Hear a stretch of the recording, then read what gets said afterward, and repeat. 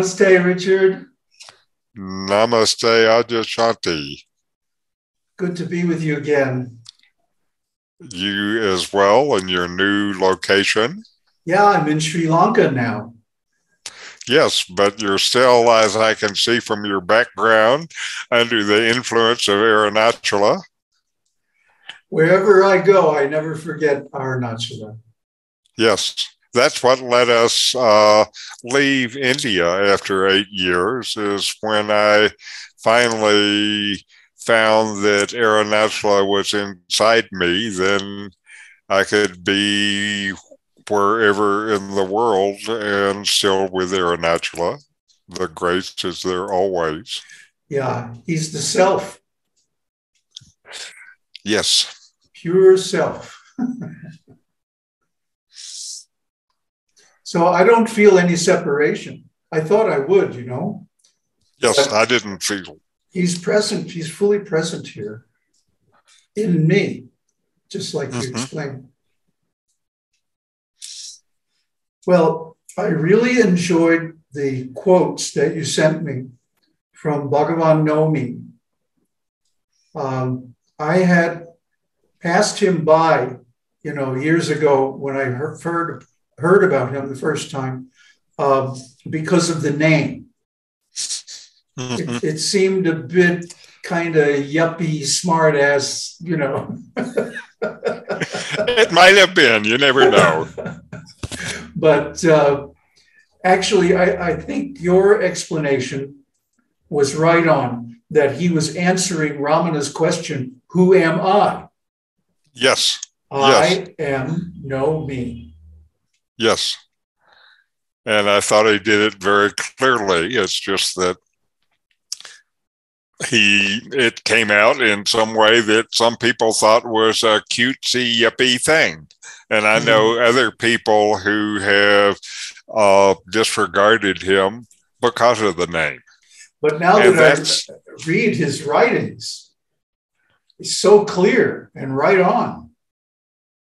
Yes, yes, indeed. And, you know, so what we will talk about this time is a uh, letter that I found from Nome that he wrote to a woman that uh, helped him find some books. Uh, he his realization was in the 1970s and at that time in the US, a lot of the materials that are available today just were not available.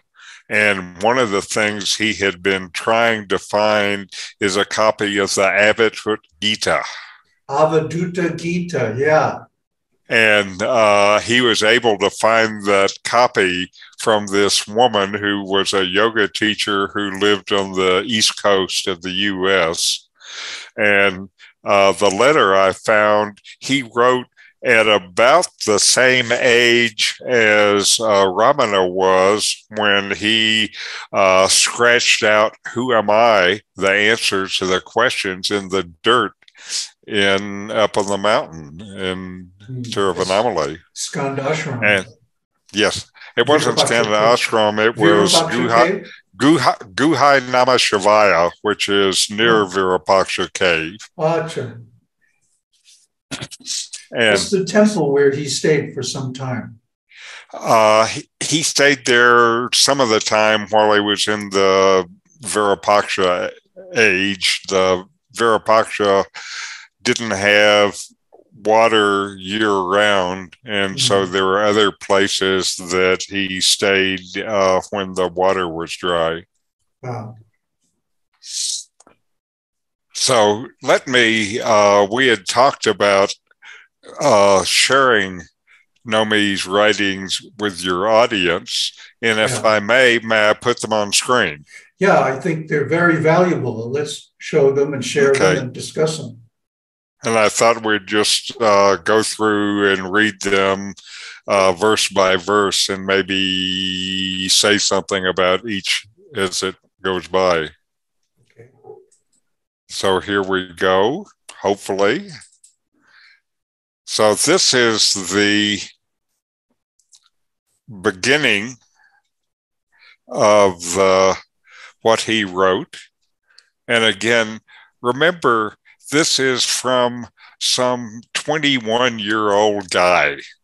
So uh, A I, saint, my, a saint in truth is a saint in youth. I myself am the truth. There is nothing to be attained. Self realization is being, not being this or that, just being. This is the wisdom of the infinite depth and the realization of all the sages. Hmm. And to me, that's enough. That is enough right there to go on for a long time. Yes. Yes. And you can see in uh, that verse the basis for his taking the name Nome. Yeah. Yeah. Once you get past the, you know, the the image of the name, the, the kind of cutesy image of the name, there's some real substance there. Yes. Yes. And so he continued I have nothing at which to point. Being cannot be called a thing. These words are spoken from the Absolute, of the Absolute, to the Absolute. There is no person or entity on either side of this letter. The absolute absence of you and me is the absolute presence of I. You know, that could have been written by Ramana. Yes. Uh, and also, to me, it seems like it could be found in places like the Ribhu Gita. Yes, it's on that same level. Yes, yes. And in that verse, one of the things that I particularly appreciate that was uh, was his expression of uh, that the absolute being then uh, includes uh, the seer, the seen, and the seeing Yes. all in one. Three in one. Yes, yes. And so as he continues, he says, I am this. I am. Existence consciousness, transparent, void, and shining. Unnameable and inconceivable. I am beyond all words and thoughts, utterly non objective. I do not admit of this or that, here or there, now or then, within or without, form or formless, knowledge or ignorance, freedom or bondage, life or death. For whom could these apply? And I think we had just saw a demonstration of non duality. He's saying, I'm not any of these dual apparent opposites. Mm-hmm. I'm just that.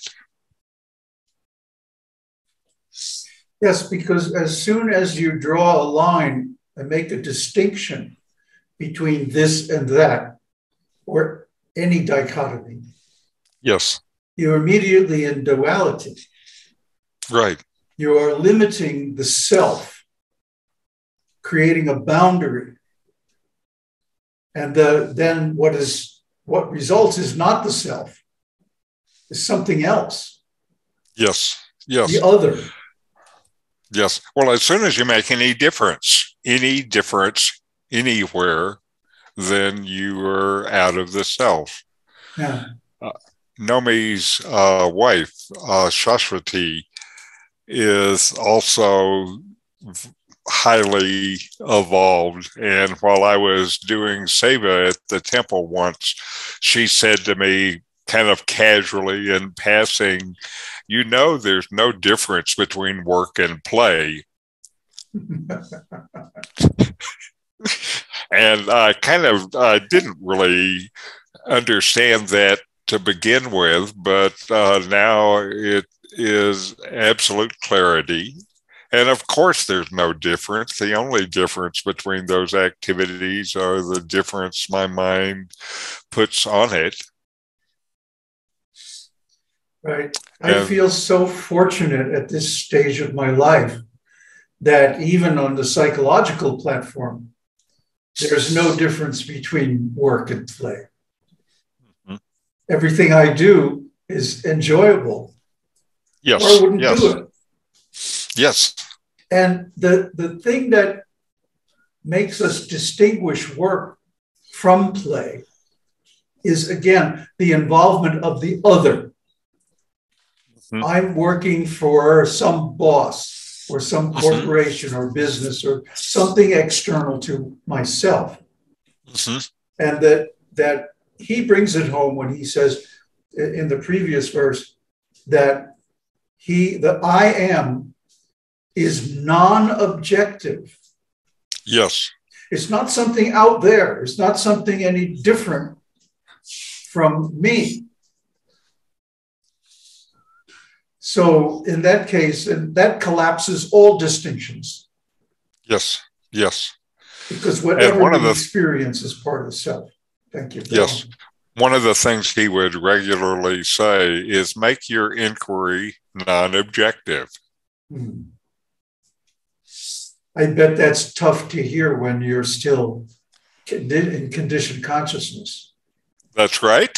But at What least it it gives you an aspirational goal, Ah, you know, and, uh, you know, shows that there is something deeper and shows where to look for it. It's complicated trying to look non objectively, of course, because the mind uh, can only see things objectively. So as soon as you try to do it, it kind of shorts out the mind. I think maybe that's the purpose. I remember that stage because it wasn't that long ago, only Uh-huh. about two or three years ago, when I was trying to see the self, you know, Yes. as, as something objective. And, you know, I had gone through years of Buddhist meditation and, you know, uh, seeing the light within and all this, you know, and uh, looking for the self in that. But it's not. The self is the seer, not the seen, and Yes. not the seeing either. Yes, yes. And uh, I have tried to uh, look at consciousness many times. And the problem with trying to, it's like trying to look at the self. The problem of trying to look at consciousness is everything I see that is sensory and perceptual are all objects of consciousness. And when you look, you see the objects and the consciousness, which is there permeating all of this, is it seems like it's not visible. Ah, but it, it is or it can be visible as a reflection. Yes. Yes. For example, the inner light that you see when meditating is the light of the self reflected in the purified mind. hmm And the Yes. purer and, and more mirror like, you know, the mind becomes, then the reflection is more perfect and brilliant and concentrated. Yes. Yes. But you're still not going to find consciousness seen directly in any of the things you look at. Where is it? Where is it? Where is it? You're it. Now, uh, one of the things at Guhai Namah Shivaya, where uh, Ramana scratched out the word, is in the uh, cave that the temple is built around. This mm. old cave, you know, usually in a place like that, they have something like an altar to use to focus your meditation on. And there they have an altar, and in the altar, there is a mirror. oh, beautiful. So, That's the highest platform. There's nothing beyond that. That's it. yes. So let me continue. Oh, yeah, yeah. I was just, I wanted to say something. There's an old photo, which I have somewhere. I'll try to dig it up and put it up on the screen when I edit this, of Ramana in those days, surrounded by his early, early devotees. Mhm. And these guys are rough, man. Yes. You know, they're all farmers and, you know, have lived outdoors most of their lives. And they're, uh, you know, if you saw them walking down the street, you want you'd want to go the other way. you know? But these are actually the kings of self-realization because they were on that platform with Ramana. Mhm. Maybe they didn't become famous or they didn't become great teachers. But man, they were there. Mhm. Good. I'd love to see the picture. I'm going to try to dig it up. Okay. So here we are continuing with Nome's. Now, there is not a single objective thing. Any such thing would depend on a subject, which in turn is another object. But this subject, when sought, is found to be not. This absolute absence of anything and anyone. Boy, that's deep. Yes. And I think that's uh, what we were talking about before the problem with looking for the subject among the objects. You're not going to find it. No. At best, you're going to find only a dim reflection. Yes. But that's Maya. hmm That's the mirage, like the water in the desert. Yes. Yes. I think Maya is another word for mind. Absolutely. Because it creates all these false dichotomies Yes. and tries to Yeah. make what the subject into the object. Mm-hmm. You What know, else can it do? Well, yeah, there's nothing else it can do because, you know, like we have this inner conversation. And when you talk to yourself in your mind, you use the word you. Well, you didn't you get up early this morning? hmm You know, don't you have to do this and do that? Didn't you think that such and such and so and so, blah, blah, blah? So yeah, it objectifies the self. That's how mind operates. hmm And again, I would refer back to Drigdrishya Vivekaha. hmm uh, talks about that, explains it extensively. And Yes. uh, we diagrammed it out and everything in the series. I'll put a link to it here. That uh,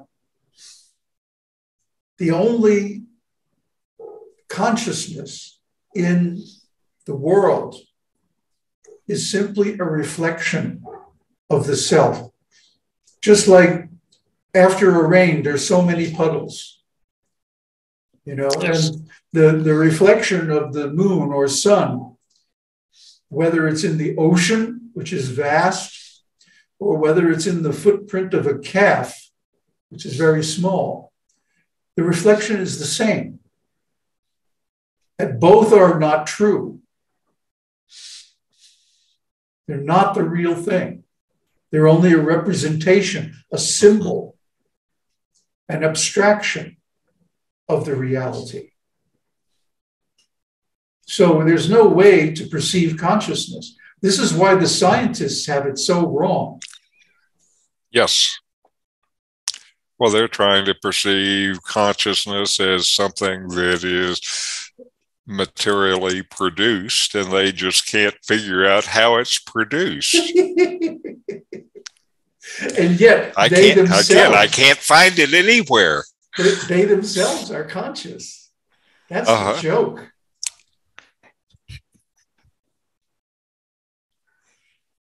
So, here, continuing uh, with these verses. Yeah. Okay. Now, this should amuse some people, I think, to be enlightened or unenlightened is the great liberation and the absolute presence of I. What's this one. guy doing? He's taking away the difference between enlightenment and unenlightenment. Oh my goodness. What am I supposed to think next? You're not supposed to think anything. Oh, Poof. Because it's another distinction. yes, yes. Uh, there was a quote from Ramana that I love. He said, To declare oneself to be either enlightened or unenlightened creates broad grounds for ridicule.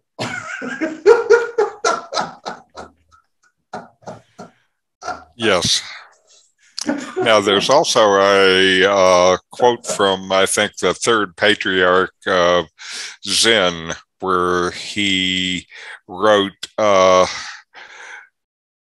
something like making a distinction between good and bad, making a distinction between what you like and what you do not like is the disease of the mind. I love the disease of the mind. Yeah, the mind is a disease. It's a cancerous growth on the self.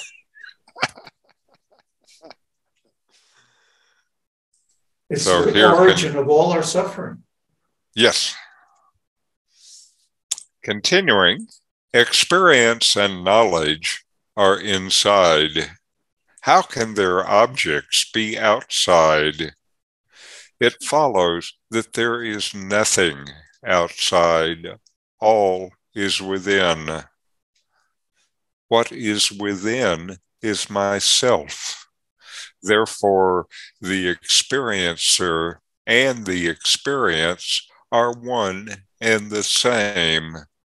That is myself. Relatively, I who am nothing am everything. Absolutely, I alone am. Well, that's really reminiscent of Ribhu Gita. We have to accept our fundamental aloneness to attain and especially to maintain self realization. Because every time we try to create a relationship, we again we bring up this object of consciousness. Mhm. and try to uh, define a relation between self and other. And then the, the absolute, the uh, non dual, is lost. Mm-hmm. Now, this aloneness of which you speak is, I think, the actual experience of many in practice. Uh, I've spent uh, more than 50 years in my own ways trying to sort this stuff out and find my experience. And though I had 15 years of the most marvelous teaching from Nome, where I know I spent more than a thousand hours with him during those times. So that's enough time even for this stupid mind to start to catch on. But most of my practice has been, of course, alone how else do you deal with any of this stuff except to try your best to somehow find it? And the only place you can find it is within yourself. And that is an activity that you do by yourself, even if you're in a room with other people. Yes. You know, the Buddha never advised anyone to uh, go join a meditation retreat or a group, some kind of group meditation or something. He always said, and there are at least 200 instances of this in the suttas. He said, go alone to the roots of a tree, to an abandoned building, to the forest, to a field, and do what has to be done. Mm-hmm. This is a stock phrase in the Buddha's lexicon. Okay. Okay. And it's certainly my experience is to do what has to be done is something fundamentally I do by myself alone within myself my meditation teacher, Bhikkhu Nyanananda, one time said to me, Whatever you have done, you have to undo.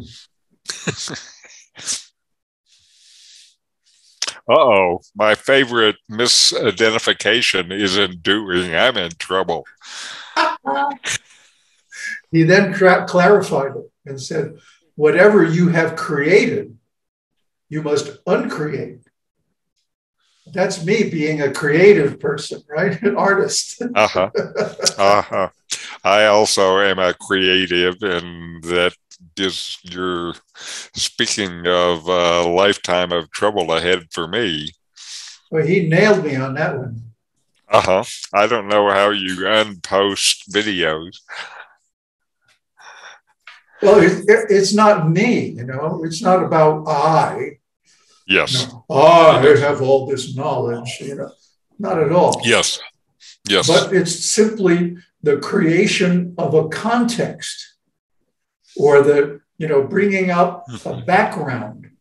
Yes. Against yes. which then these type of statements like Nome is making here make sense. Yes. Yes.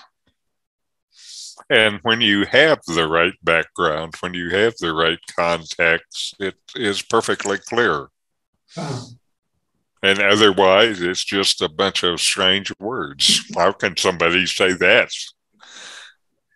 I must be must have took too much LSD or something. you know, there was a cartoon like about that back all back in the '60s. yes. These uh, these three guys go into the Piroshki shop on in Haight Ashbury. It's a famous hippie place. Uh-huh. And while they're waiting for their Piroshkis, this guy starts saying, you know, there's really there's no difference between me and anything else. And actually, individual existence is just a dream. And, you know, he goes on in this vein, right? Uh-huh. And as he's talking, he starts to become transparent and gradually fade out. and finally he completely disappears. And the other two guys are looking at this, and one says, Dude had a beautiful head, man. and the other one says, Can I have his pierogi? I mean, it's just so existential, you know.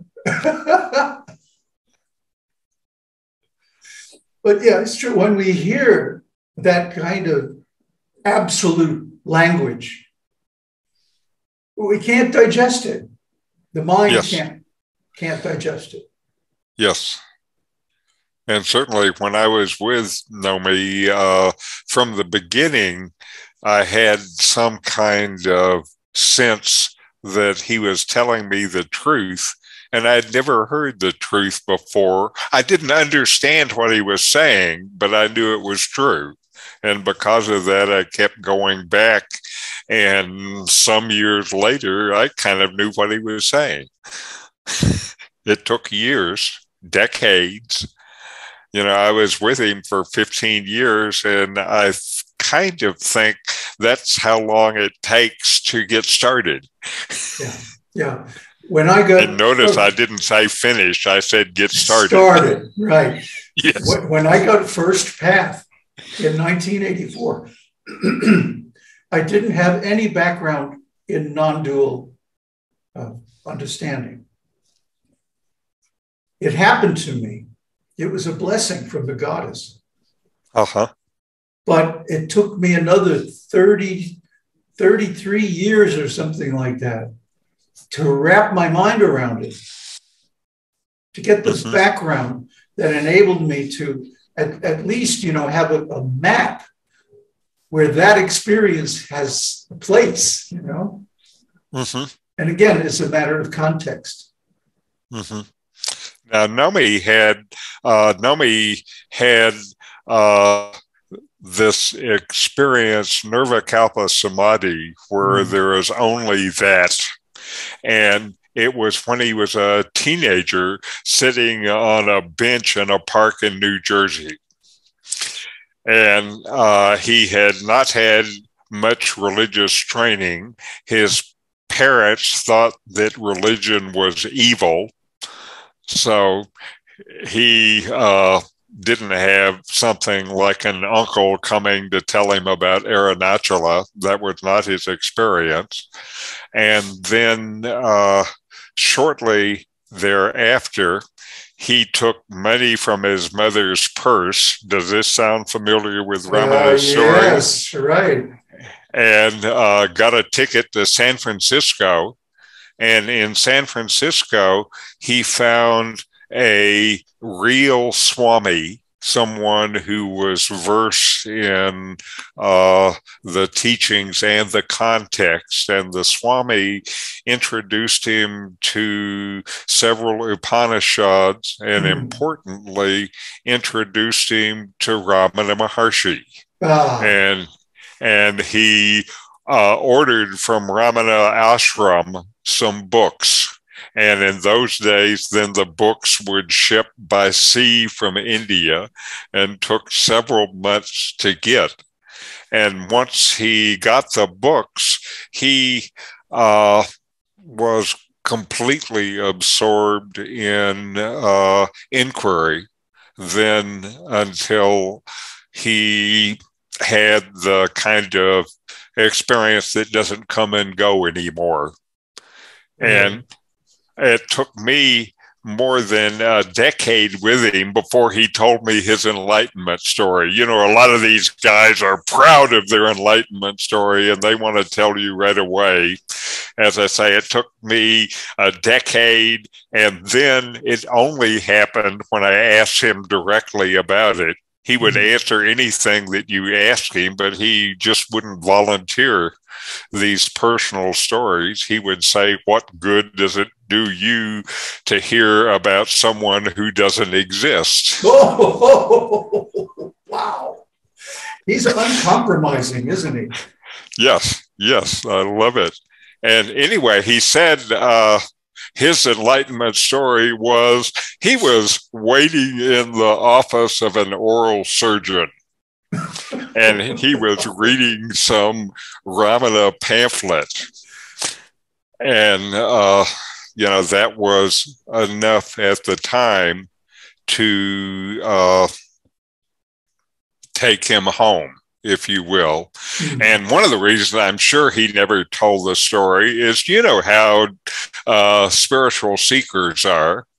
And uh, I can just imagine in San Francisco a bunch of scruffy, hippie looking guys going into the oral surgeon's office waiting for enlightenment to come. the thing is, it never comes the same way twice. Right. Of course. Anyway, it's hey, I, got a, I got a story to tell you. When I got third path, right? Third path is when you realize there's no me. Yes. Okay. And I was on a flight from Norway to Sri Lanka. And we were uh, I, I, was sitting in the the exit row, you know, in front of this blank hmm? wall. I felt like Bodhidharma, you know, staring at the wall. and, and, and next to me was this uh, Arab family, very nice, educated people. And uh, they had a little baby. And as the plane began its approach into Abu Dhabi, um, the baby began to cry probably because of the change in cabin pressure. Mm-hmm. Yes. And, you know, pressing on the inner ear, on the eardrum. And, uh, and they were looking at me and, and saying, Oh, I'm sorry, it's a disturbance. We can see you're trying to meditate and like this. They're really nice people. And I just said, you know, it's no bother at all. I'll just increase my concentration, right? so I did. I made a really strong effort to concentrate even though there was all this noise, you know, and in the plane and whatever. And boom.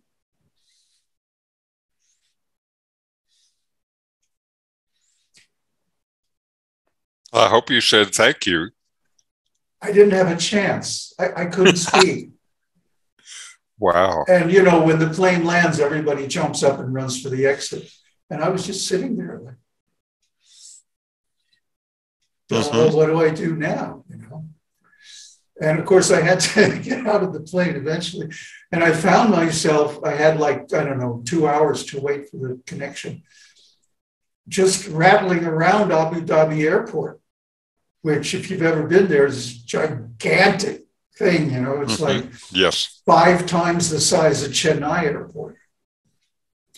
Um, going in and what am I going to do with myself? You know, so then I saw a sign, mosque, airport mosque. Mm-hmm. So I, I went to the mosque and I took off my shoes. I found a cloth in my bag and put it over my head, washed my hands and feet. I went into the mosque, did namaz, and then just sat there against the back wall. Nobody's nobody even blinked they were so cool, you know. Mm-hmm. I had a beard, so I guess I was okay. but in that peaceful space, I was able to begin to integrate this huge insight. You know? And when I yes. got back to Sri Lanka, I was like, my God, what are we going to do? How do I even decide like how to get through the day? there's, you know, there's just nothing there anymore. Yes. So I realized I had to create basically a synthetic personality. Seriously, uh-huh. it's a matter yes. of survival because I was living alone. Now, if I right. had been in a in an ashram with sufficiently evolved people who could understand what I was going through, then I could have probably gone all the way mm-hmm. um, in a very short time. But because I had to feed myself and, and deal with, you know, being an expat and all you know all that stuff. Yes.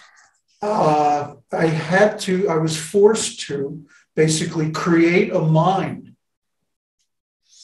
Mhm. Mine was blown, thoroughly blown, and so that's that has continued, you know, to the present day. This was what Mhm. seven years ago. Mhm.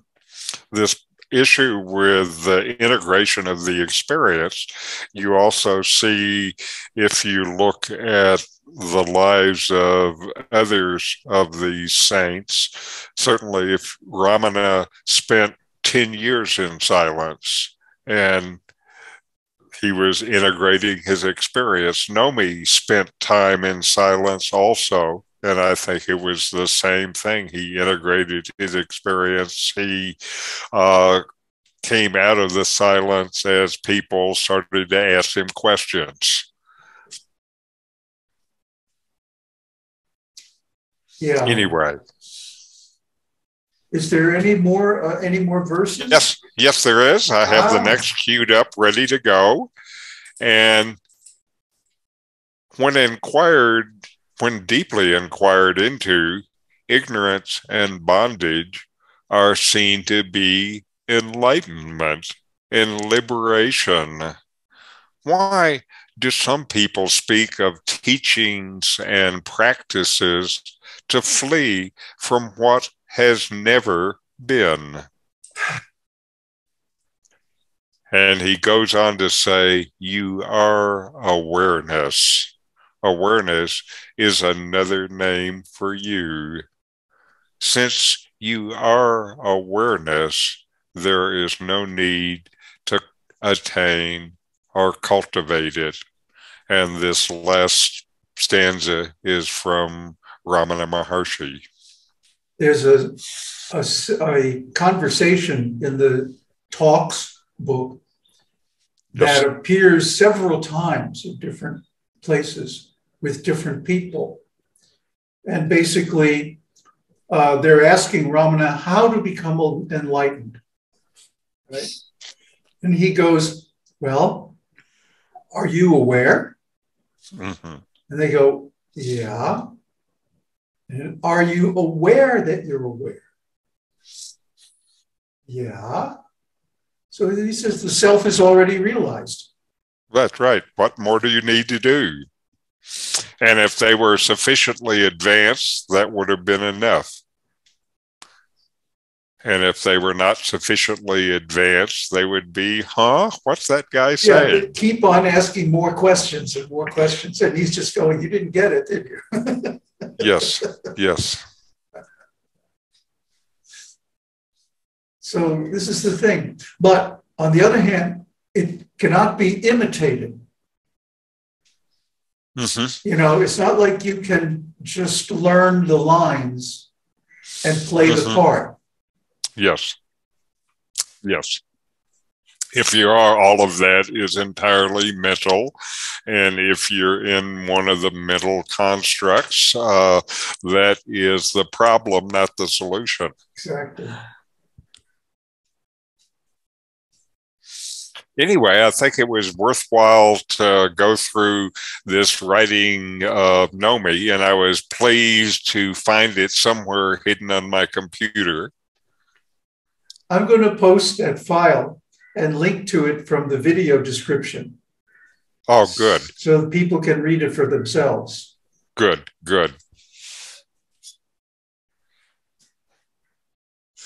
The uh, woman, the yoga teacher to whom he wrote this letter, by the way, was married and had, she was one of the most influential yoga teachers on the East Coast at that time. And she was happily married in a long term relationship. And what she did after she got that letter was uh, leave her husband, go to California to be with Nome. And one of the initial places that he gave satsang was at a house that she had bought in Santa Cruz, California. That's how he got to Santa Cruz. It's still there, isn't it? The oh, SRI. Yeah, the the Society of Abidance and Truth is in their own facility now in Oh. Santa Cruz. They're not meeting in Shanti's house anymore. And Shanti left her husband again to be with the teacher. She left her husband. She left her successful uh, career as a yoga teacher, just so taken with the words of this young Swami that she abandoned her previous life to be closer and to be able to listen. Wow. That's devotion. Mhm. That I is devotion. When I met my Adi Guru, Srila Prabhupada, it took me four years to surrender. Mhm. But when once I did, you know, because I was so attached to being a musician. I mean, Mhm. being a musician in, in San Francisco in the 1960s, well, you could just imagine what it was like. Yes. There are uh, whole years that I don't remember at all. But they were good. They must have been. Wow. Yeah. I mean, I used to rent a room in Janis Joplin's house, if that gives you any inclination, indication. But Uh-huh. anyway, yeah, I was so attached to it. Um, but circumstances conspired to more or less push me into it and make it necessary for me to just walk away from all that. You know, I, I mean, I still kept up my music, but I became a devotional musician Mhm. and uh, kirtan leader, and so uh, I would travel all over India. I was you know, kept up my studies with Ali Akbar, uh, Khan and uh, became you know pretty expert at the pronunciation and the, the rhythm of the Sanskrit and Mhm. the uh, traditional melodies, which are very beautiful. Uh, I, I miss that culture, you know. It's too bad they're diehard dualists, Mhm. but the culture is, is beautiful. And um, so it took me f- four years to surrender, but even then, I still had a lot of personal ambition, you know.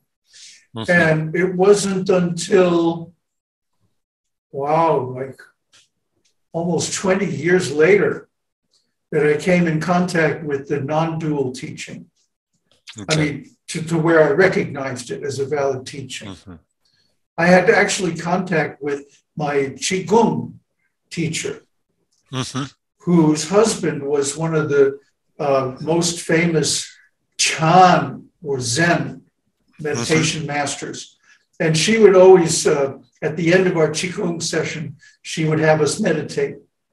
And she would go around and give energy, you know. Wow. Yeah, I didn't know what a blessing that was at the time. Mhm. But I think she kind of pushed me in that direction, you know, Mhm. because I never experienced that anywhere else. That pure energy. She was 84 years old, teaching this room full of young bucks, you know, martial Uh-huh. artists, most of them. And one day she says, "Ah, I give demonstration, right?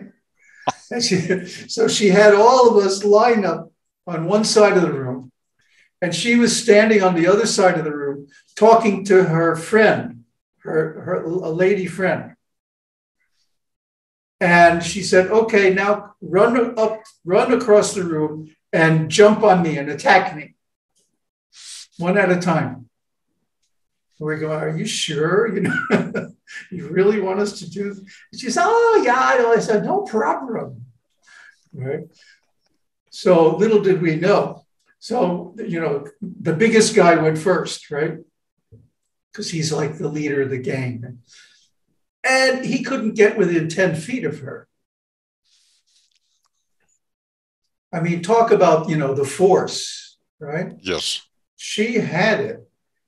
And years later, I came to understand what she was doing was projecting her chi into the muscles and uh, causing the body to go out of control. So they were Wow. tripping over their own feet, you know, Mhm. smashing into walls and stuff like this. so, you know, there there are powers and stuff like that that you can gain through these kind of practices. Mhm. But uh, the real thing is always the mind and consciousness Mhm. and coming to the non dual state. Mhm. And for many, the to get uh, entranced by these powers for many people is to get further absorbed in the ego rather than to release the ego. I had two people who were very close to me, my mother and my brother, who both uh, showed these powers and uh, I could see there, uh, in the case of my brother, I could see his ego growing. In the case of my mother, her last years, I tried to uh, show her what Ramana had to say, and she could hear it, but she still felt like I can't let go of my ego. My ego is what got me through all of these difficult days. And that was what she held on to until her death. So, uh, powers can be entrancing, but you need to let them go too. And also different kinds of mukti. Mhm. Okay. You know, there are five kinds of mukti. And uh, they are basically beginning another cycle of manifestation, maybe on a higher level, uh, Mhm. in some heavenly loka or something like this. But it's again taking an identity, becoming an individual, taking a body, being in some world. It may be a much nicer world than this one. But it's still the same problem. Mhm. So why would we want to, you know, play that game all over again? We already know where it leads, Uh-huh. and uh, it's not worth it, you know. Um, to me, I've just kind of lost interest. Although I, I do want to spend the rest of my days trying to help people, whether I can or not, I don't know. But at Right. least I can try, you know. Of course. And if you're offering freely, then it really doesn't matter whether you reach them or not. It's being you're freely offering is like the fruit tree in the garden. It just has fruit. It's not like I want to be, you know, a bodhisattva and, you know, stick around to the end of the universe uh, helping people. You know, I want out of here. but uh, But while you're here, while I'm here, let me do some good in the world. that's right. That's right. Anyway, I think we may have done enough good for today. Mia, I think so. And uh, dinner is almost ready. So uh, we have the best food here. Oh, my Oh, God. good. Oh, the lady of the house is a, a real artist. What a cook, you know. I'm thinking maybe we should have the spring workshop here. The food would be better. It sure would. You can't get a lot of things in Spain, you know. But anyway, we'll see what happens. You know, it's not up to me really. yes. So thank you again, Richard. Every time we do this, it's like reveals a deeper truth. And I'm so happy, thankful for your association. You know, because the way we communicate is not like anybody else. Well, again, I'm so pleased that we're able to do this together. It just fills my heart. So thank you. Om Tat Sat. Om Namo Bhagavate Sri Ramanaya. Sri Ramanaya.